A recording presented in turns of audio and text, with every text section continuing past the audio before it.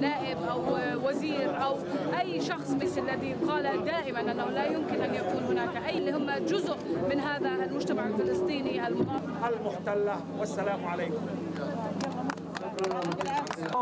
إننا دائما مقصرون مهما عملنا. بلدية جونفيليه في فرنسا التي هي توأم لبلدية البيرة التي تناوى صديقتنا ونابلتنا بالساعي المبذولة والمحمومة لإعادة الفلسطينيين إلى المفاوضات كما كانت عليه